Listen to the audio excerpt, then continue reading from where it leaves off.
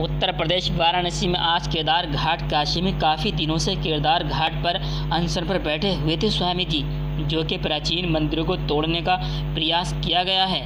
उसी को लेकर हम लोगों ने पानी में उतरकर मांग की कि स्वामी जी के केदार घाट पर प्रेस कॉन्फ्रेंस द्वारा बताया गया कि एक तरफ़ मोदी सरकार कहती है कि माँ गंगा ने मुझे बुलाया है और वहीं दूसरी तरफ़ माँ गंगा के मंदिरों को तोड़ने का फैसला लेती है।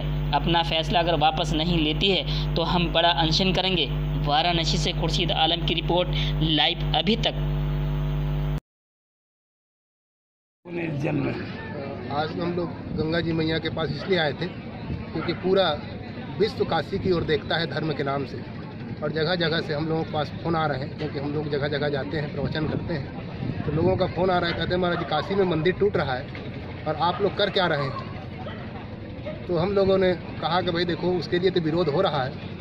परंतु हम लोग कहना है कि विरोध कैसा हो रहा है तो आज हम सब लोग मिल करके, आज गंगा मैया के पास इसलिए आए हैं, क्योंकि जो सरकार मंदिर बनाने के नाम से गंगा जी की सौगंध खा के आए थे कि गंगा जी ने हमको भेजा है, और वही सरकार आज मंदिर को तोड़ रहा है तो मैया गंगा से प्रार्थना करके हम लोग गंगा मैया के पास इसलिए आगे मैया, आपने कैसे नालायक पुत्र को भेज दिया कि जिनको बनाने के नाम से जो आया है, उसी को तोड़ रहा है?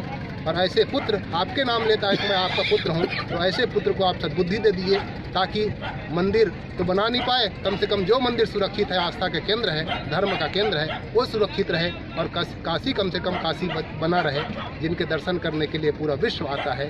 उसी को सुरक्षित करने के लिए आप उनको सद्बुद्धि दे दीजिए। इसलिए मैया से प्रार्थना करके गंगा जी के पास आकर के हमने उनके पुत्र के लिए आज विरोध करने के लिए ज्योतिर्मयानंद।